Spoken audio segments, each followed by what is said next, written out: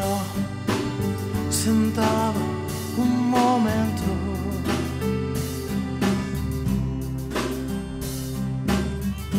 Cuento uno, dos, tres y cuatro y no te